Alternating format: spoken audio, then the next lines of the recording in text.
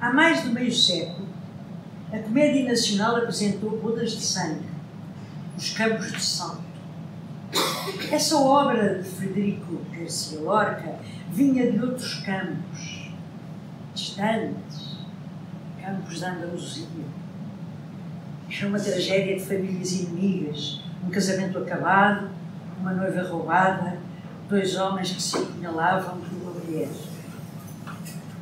A mãe de um dos mortos exigia da outra. Quer-se calar, por favor? Não quero prantos nesta casa. Suas lágrimas são lágrimas dos olhos, nada mais. Margarita Chilu era em cena aquela mãe altiva e dolorida.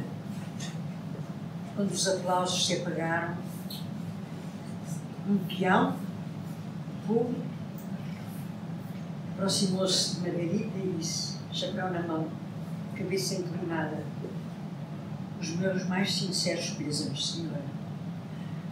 Eu também perdi um filho.